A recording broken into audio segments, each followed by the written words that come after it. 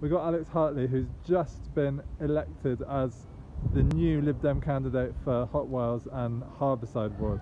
Congratulations, Alex. Thank you very much, much appreciated. Yeah, it's So- uh, close, but uh, yeah. How many result. votes in it? About 25 in the end? 26, yes. Were you expecting a tight a tight contest? We thought it was going to be tight, especially if we look at how the Greens have done across the rest of the city. Um, we knew it was going to be tight, but obviously people remember the excellent work that the Lib Dems have done over since 1978 uh, in Hotwells. So yeah, they've returned me, which I'm very, very much looking forward to representing them. And with your citywide role for the Liberal Democrats, how are we looking at the picture today across the city? So there's certainly some places where we've not done as well as we'd hoped. We're very obviously sad to lose Anthony Negus in Cotham, who's been an excellent councillor in Cotham for the last 12 years.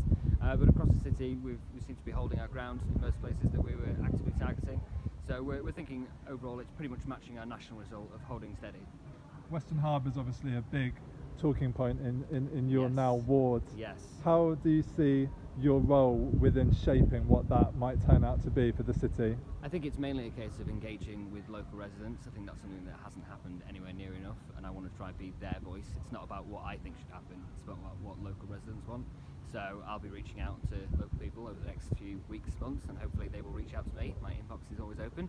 Um, and yeah, to get their views, and we'll try move forward in a co- consultative way rather than just pushing for whatever the, the mayor wants. Thanks, Alex. Congratulations. Awesome, thanks very much.